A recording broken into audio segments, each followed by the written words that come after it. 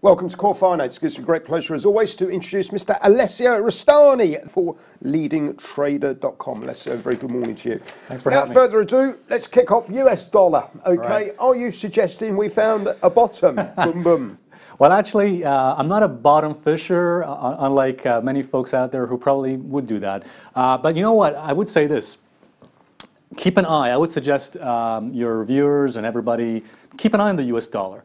Number one, because the sentiment, the dumb money sentiment, Nick, uh, out there is getting extremely bearish. Um, I mean, just, just take a look at some of the articles published on uh, some of the social media sites or on MarketWatch, and you'll see tremendous amount of bearish, over bearishness on the dollar.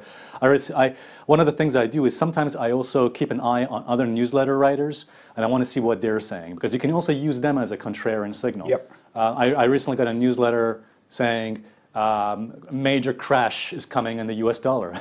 I was thinking, where have you been for the last few weeks, for the last few months? Because the crash has already started months ago. So when you see these headlines coming out, you know, oh, crash coming and whatever, usually you're reaching a, an inflection point or turning point.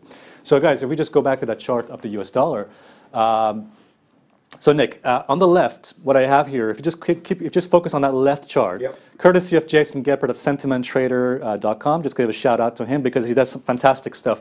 For example, uh, right now, that chart on the left shows to us that insiders, so the smart money, commercial hedgers, are bullish on the dollar. You can see that they've been buying the dollar for the last few months, going back as far as spring. So if the smart money is bullish, I want to be on the same side of this, uh, the smart money. Yeah, absolutely. Uh, on, the, on the other hand, it doesn't mean I'm going to go buy the US dollar or go long on the US dollar because usually there's some, sometimes there's a, a lag between uh, the, the inflection point.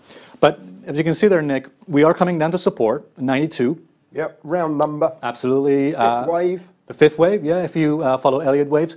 I, I, will say this, Nick, said, I think I said this before in this show, which is that Elliott waves seem to be the marmite uh, of the analysis and trading. Some people hate them, some people like them. I used to be a hater, I used to be extremely skeptical about Elliott waves, but now I'm beginning to see, you know what, there's something in this. I would say this, look, if, if, you're, if, you, if you don't like Elliott waves, put it this way.